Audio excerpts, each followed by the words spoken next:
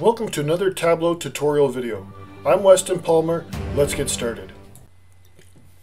Today's another user request. Naveen Reddy asked, can you please make a detailed video on Performance Recorder and how to interpret and understand the different events that are affecting the workbook? This is not going to be a detailed video, but it's going to be more of an overview and just get you familiar with what's there. The Performance Recorder is a feature that is built into Tableau that you may not be aware of. So we have a dashboard. Actually, we're going to come to Dashboard 1. And under Help, going to Setting and Performance. And there's an option at the bottom here called Start Performance Recording. If you keep focused, it's more helpful than if you try to do a lot of different things. I'll show you what I mean. So we're on this dashboard. I'm going to make a couple of uh, changes to the filters and maybe even do this chart selector, change that, and get rid of this.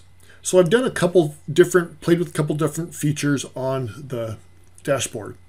Come up to Help menu, Settings and Performance, and select Stop Performance Recording. What it's going to do is it's going to take a second, but it's going to pull up a separate Tableau dashboard.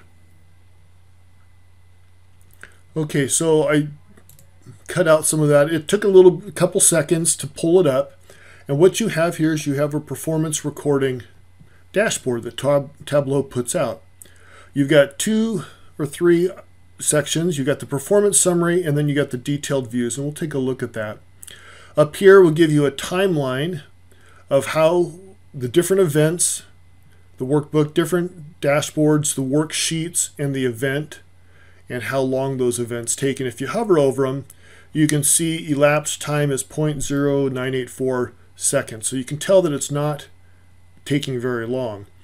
Start time, this is so you can, this is a little bit confusing because if you run the uh, performance recorder after you've made a couple different changes, this start time always changes because it's, you know, the time. The other thing about this that you need to be aware of is that when I've run this multiple times trying to test out a particular feature, the actual times don't all, aren't always consistent. Sometimes they're longer, sometimes they're shorter, and that can be very frustrating when you're trying to isolate where the problem is. Scroll through here, and you can see all these different events, and I'm going to show you another way that I've started looking at that. The next section here is the items that take the longest. You can see the different colors here. Executing query, rendering, um, compiling query is another big one. The geocoding, I don't do a lot of geocoding, so I haven't seen a lot of that. But you can start to get a feel for how long each of those take. In this case, you know, the longest one we're showing is 0.22 seconds. This isn't going to be particularly helpful, in my opinion, unless you've got a dashboard that is taking, you know, 10, 20, 30 plus seconds to, to work on, that to pull up. And so then you'll be able to identify a couple areas here is the rendering. Although in this case, if you highlight over, go over it, this doesn't have any worksheet identified as the rendering. So that's another thing that's a little bit frustrating. I've gone online and looked for some things I haven't found a reason why the rendering is for null dashboard is taking time. So let's say if you have a query, executing query, select that, and it pulls up the query that you have. For this, and let me show you something here. For this dashboard, that's the one we were looking at, the worksheet is tree map.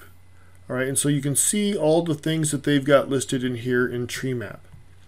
Now if I go back go to tree map. In this case, we'd already turned it off, but look, this is, it doesn't have that much here. And so that can be a little bit confusing when you look at the query and you see all these items. What does that tell you? Where should I, uh, what should I do to, to fix that?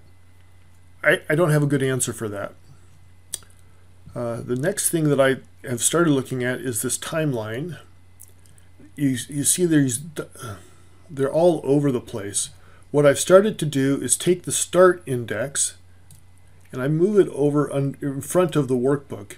And now you can kind of see a timeline of when these events are starting to happen. And you can start to see right here that looks like the tree map is taking the longest amount of time. Well, it's still only 0.2 seconds. That's not bad. Uh, the ones that I have looked at and focused in on is if you come to the performance summary and you see computing layout. Let's come here, computing layout. For the timeline tooltip, that's taking 0.02 seconds. The Pareto computing layout. Sometimes it is a, a couple seconds long. And all the research that I've done on this performance recorder is one of the first things that they always tell you to do is reduce the fields, uh, reduce the number of marks that are being pulled up, and that's actually one of the biggest things that I've got. I've got a scatter plot that's got thousands of data points, which is a grind on the, the resources. Why do I have that? Because the client wants it. I know. So those are the ways that you uh, can work with the performance recorder. And the reason why I say just focus on one or two actions, because there's so many actions here, it's hard to tell when something is happening, like when you flip to another dashboard or not. Let me pull you up another performance recorder that I did earlier.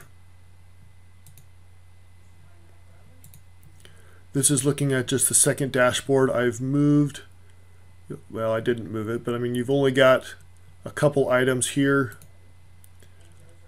You don't have those other nulls. Sometimes I find that it doesn't take as long if you've already loaded it once in a session and then you come back to it, it doesn't take as long.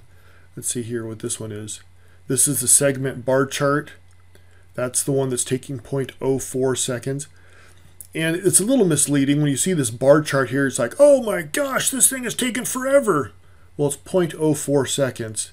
In the grand scheme of things, it's not something to worry about. That's why I say, unless your dashboard is taking 10, 20, 30 seconds to load, I wouldn't really worry about the performance recorder.